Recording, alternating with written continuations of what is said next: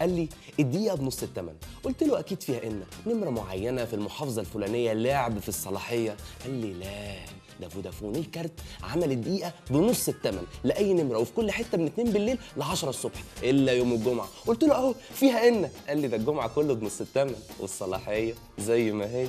بموت في فودافون.